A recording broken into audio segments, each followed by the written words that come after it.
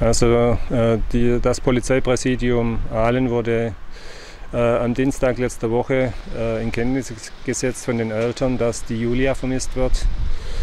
Sie hat hier in der letzten Woche am Dienstagmorgen die elterliche Wohnung verlassen und ist nach unserem Kenntnisstand nach bewusst nicht bei der Schule erschienen. Äh, Ermittlungen haben dann in der Folge ergeben, dass sie äh, um 9.17 Uhr beim Bahnhof in Kirchheim-Unterteck war. Das haben Bildaufzeichnungen so bestätigt. Äh, wir haben dann seit diesem Zeitpunkt kein, keine objektive Anhaltspunkte mehr bekommen, wo sich Julia aufhalten könnte.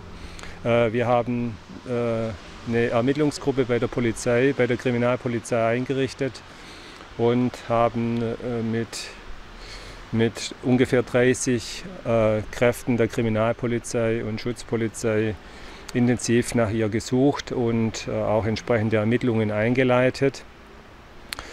Genau, und äh, jetzt am heutigen Tag äh, haben gab es eine äh, Suchmaßnahme im Bereich Oberlenningen. Da haben wir auch Unterstützung vom Polizeipräsidium Einsatz.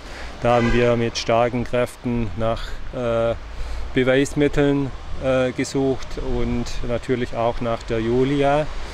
Äh, und äh, bei dieser Suchmaßnahme äh, wurde heute eine, ein Leichnam aufgefunden wir wissen es nicht, noch nicht, ob es sich dabei um die gesuchte Julia W. handelt. Äh, die Ermittlungen dahingehend sind am Laufen äh, und die Kriminalpolizei von äh, dem Polizeipräsidium Reutlingen haben jetzt Ermittlungen auch zu den Todesumständen aufgenommen.